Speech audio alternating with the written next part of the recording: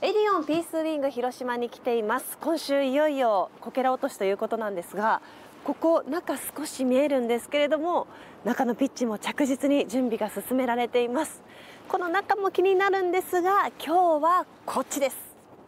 外からも少し見えるんですけど中入ってみますとおおあ広い。広いですね。エディオンピースウィング広島のバックスタンド側にできたオフィシャルストア。試合がない日も営業するサンフレッチェ広島のグッズ売り場です。ただなんかグッズを売るとかじゃなくて楽しんでお買い物ができるように来ていただきたい。なんか試合がなくてもサンフレッチェを楽しんでもらえるような。売り場面積も地下街紙屋町シャレオにあった常設線の時より4倍に拡張200種類のグッズのうちスタジアム開業を記念したオリジナルグッズに早くも注目が集まっています。今回限定商品も多いということなんですけどあ早速こちらピースウィング広島しっかりロゴも入っています。グッズを見るだけでもいよいよ新しいサッカースタジアムで始まるんだというねワクワク感もらいますね。さらに。いいですねこれ。かわいいユニフォーム。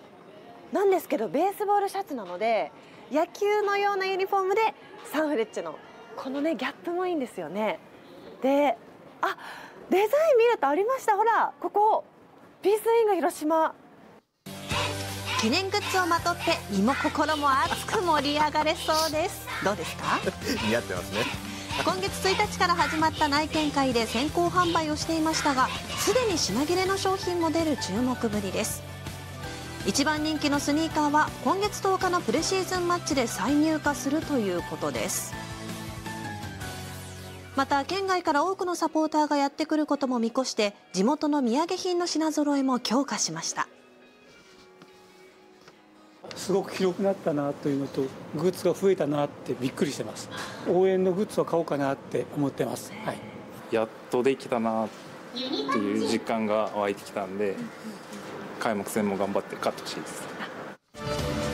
ピッチ以外も着々と準備が整ってきたピースウィング広島。